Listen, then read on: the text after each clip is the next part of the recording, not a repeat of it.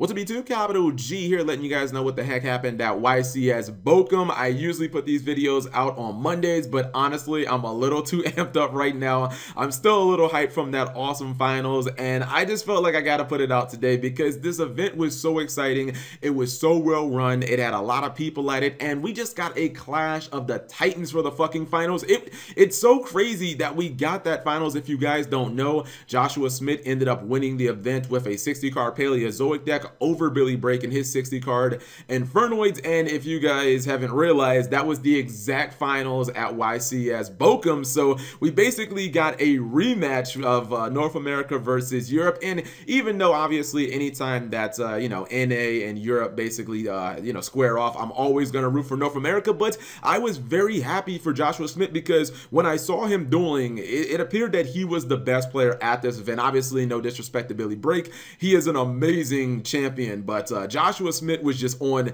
he was on some fucking like Super Saiyan level 3 shit, and I don't think that anybody was going to beat him on this day. And it's kind of crazy because not only did we get a shocking finish to this event, but I feel like we just learned a little bit more about the meta. Now, for the event itself, Obviously, the coverage was excellent. I still think that the European coverage is just ahead of the North American coverage. The fact that, you know, when they do the Twitch stream, they'll like talk to the people in the chat. They'll ask for suggestions as to what they want to see in the next match. You know, somebody says something really funny or if somebody points out something before they notice it, they'll actually be like, oh, God, wow, that guy, you know, pointed something out and we didn't even realize that. And I don't know. I just feel like their coverage is just a little cleaner. It's just a little better. Now, there were about 1,400 people at um, YCS Prague so it was definitely a really big sized event. And, you know, going into the event, obviously, even though Paleozoic won YCS Atlanta, you would still have to consider Zoodiac the favorite. Zoodiac was obviously the most represented deck, but when you get to the 32, guys, the top 32,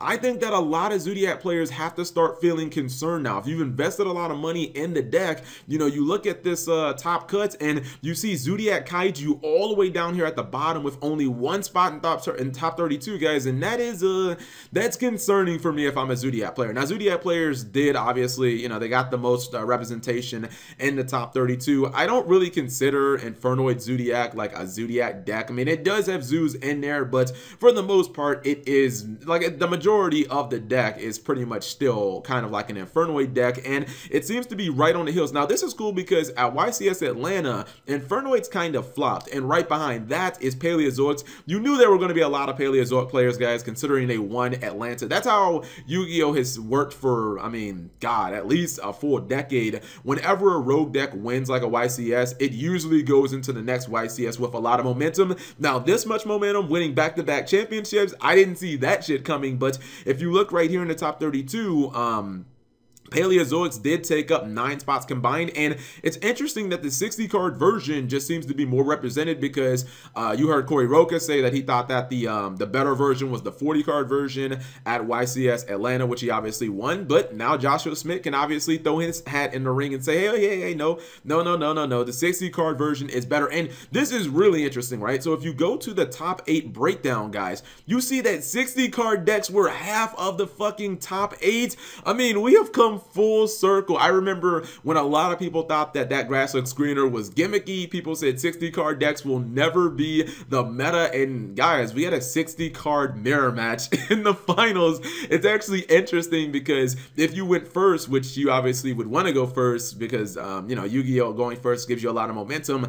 That grass looks greener in a mirror match is just actually terrible, but it becomes alive uh, it actually becomes live if your opponent activates Pot of Desires, which is another card that basically uh, was huge in the finals of Billy Brake versus Josh Schmidt. Now, I think that there are a couple of things that we learned. For one, 60 card decks are, as long as that grass looks greener is here, I think 60 card decks are here to stay. And considering that everybody knows Infernoids are not predicated on their extra deck at all, I think that they will be very powerful moving towards Link, for, uh, obviously moving towards um, Link summoning formats. And when we get uh, Code of the Duelist and obviously the new starter deck. The second thing is, I think that if you are playing Paleozoics, you better keep your eyes on that ban list because I think that this might, this winning of, or this uh, championship might get Toadally Awesome hit. That card is still fucking incredible. I think that we have to consider it as the best XC in the game. It just gives the, the, the Paleo players so much tempo and it gives them so much momentum when they can kind of just negate anything. And there are only a couple of counters to it, like, um,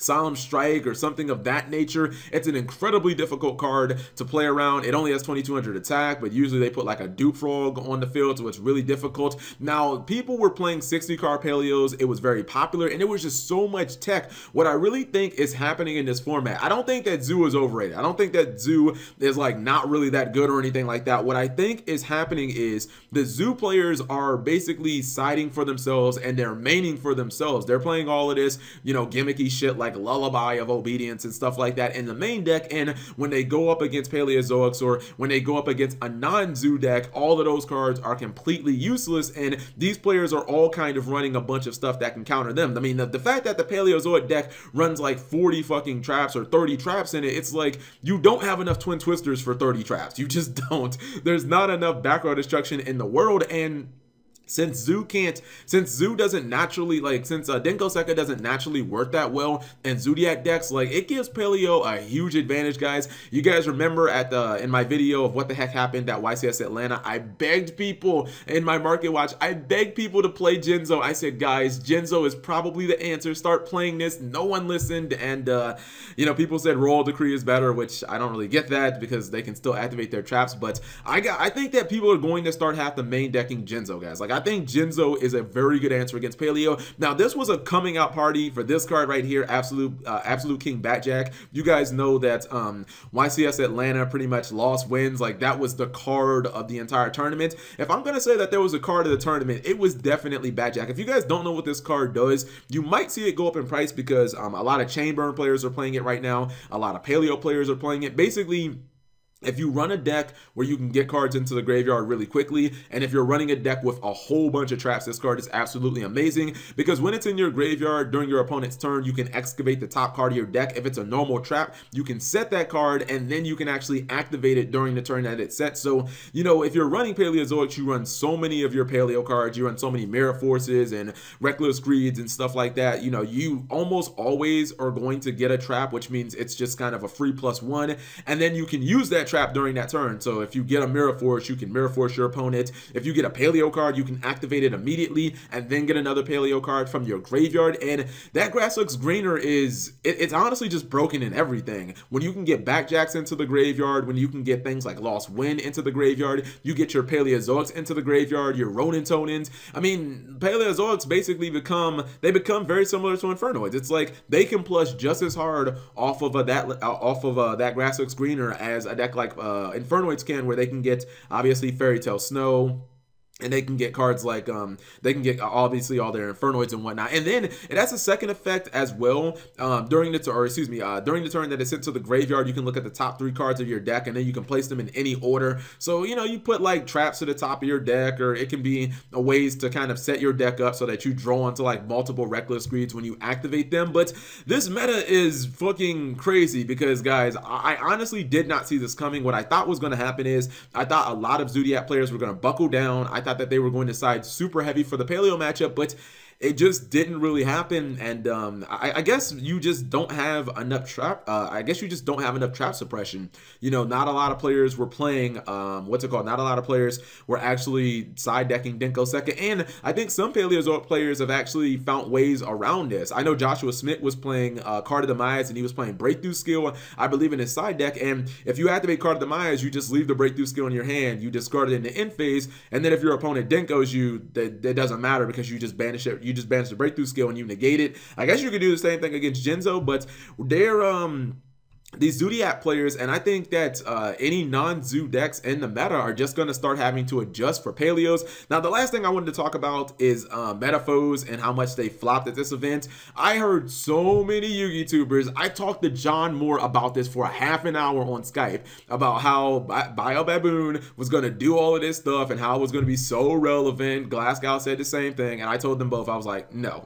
like, metaphors are not going to be good just because of Bio Baboon and you, because you can make an invoker. Like they can already fucking make invoker. It's not really gonna do all of that much. And you see one Metapho made it into top 32. Now he probably did play Bio Baboon, but it doesn't make your deck so much better. I mean, at the end of the day, like if you're playing Metaphos, you're still playing a deck that auto loses to anti-spell. And when Paleozoics are running like fucking 50 traps in their deck, you think they're not running anti-spell? you know zoos are running anti-spell. So I don't know. I feel like Metaphos are a good deck, but they're just it's not on the level, like it's not tier one. Tier one right now is Paleo and Zoo. Everything else is well, Paleo, I would say Paleo, Zoo, and Infernoid. Like that right now is our tier one. Everything else is just a step below decks like Light Lightsworn, Shiranui, you know, uh, Metaphos, if you're still running Burning Abyss, like I think everything else is just a level below. So what do you guys think of this YCS? Do you guys think that this means that Toadally Awesome is going I think what I think what they did in the OCG